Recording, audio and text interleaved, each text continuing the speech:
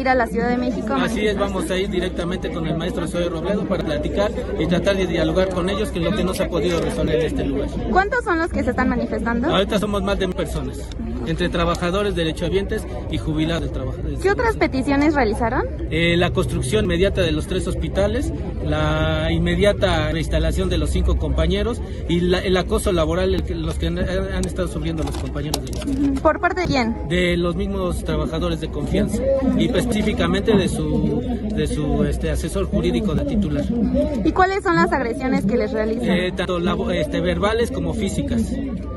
¿Y ya han interpuesto alguna demanda? formal? Ya han denunciado, hemos de- denunciado en derechos humanos en, las- en la Fiscalía General del Estado. ¿Cuántos son? Son, son cinco compañeras las que fueron rescindidas y ahorita están en persecución.